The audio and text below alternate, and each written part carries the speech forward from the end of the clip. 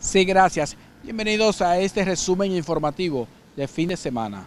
De acuerdo a parientes del joven Luis Gustavo Luna, de 23 años, ultimado a tiros en el ensanche Bermúdez, este se encontraba compartiendo con amigos en un centro de diversión cuando sus agresores lo atacaron sin mediar palabras. Y que estaba sentado y le cayeron a tiro. No sé si fue que pasó palabra con el tipo, no sé cómo fue. Es mecánico de freno. Ahí tiene tres hijos, tres hembras y tiene, tiene 23 añitos.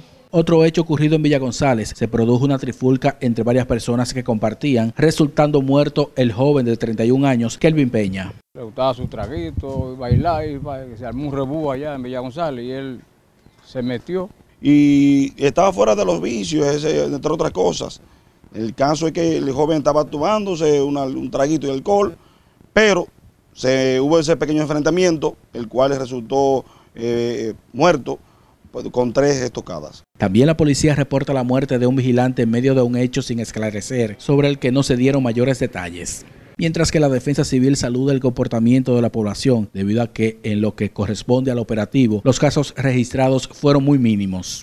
El pueblo acató el llamado nuestro y es muy significativo los accidentes que le dimos asistencia. Los puestos de ventas de cerdo asado en Puya esparcen un aroma que contagia todo el ambiente en la ciudad corazón. En lugares como debajo del puente Hermanos Patiño es donde más se comercializa esta carne, aunque algunos comerciantes consideran que este año la cantidad de cerdos sacrificados fue menor que el año pasado. Sí, ese de calidad. Lo recomiendo como bueno es. Y se va vendiendo al paso, pero se va vendiendo. Ya van saliendo unas partes de los cerdos asados de aquí del puente. Está a dos y medio.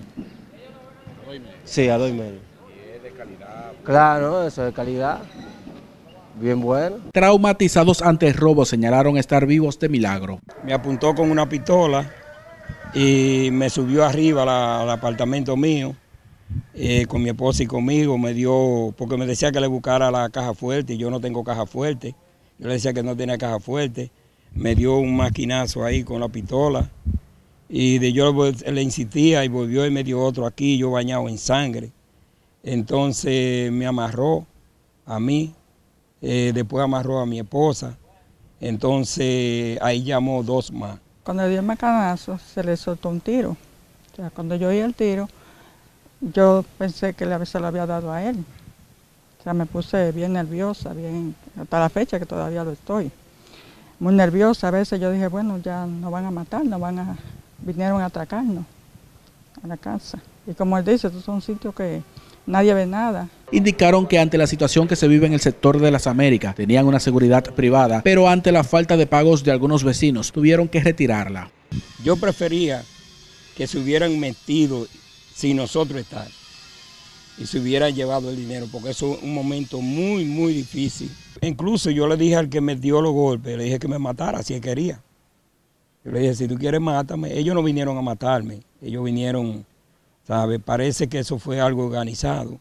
Los residentes del lugar se mostraron alarmados y piden un mayor patrullaje de la policía. Yo le voy a decir la verdad, yo en la policía no confío mucho. Vea que, vea, perdónenme que se lo diga, pero en la policía no confío. Bien, de esta manera concluimos este resumen informativo de fin de semana. Hasta la próxima.